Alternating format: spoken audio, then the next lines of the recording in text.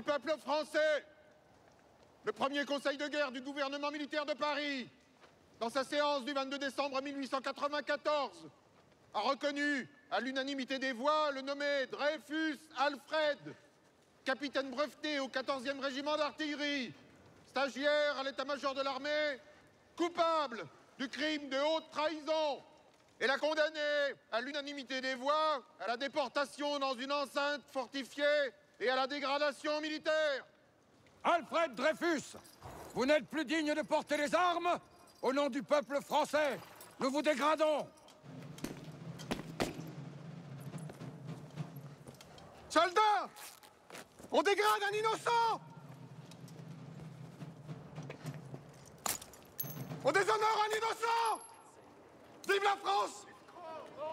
Vive l'armée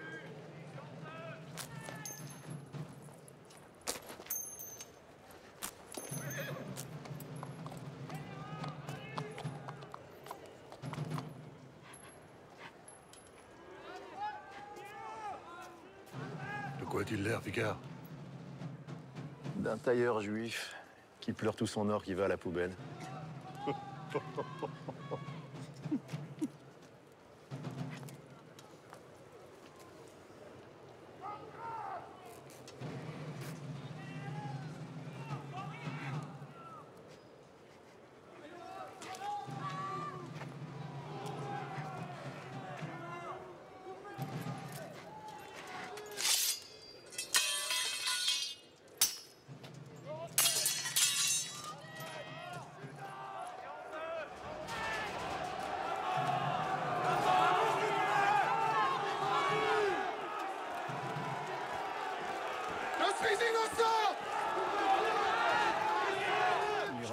Les chrétiens au lion, nous, on leur donne des juifs. C'est ça le progrès, hein, j'imagine.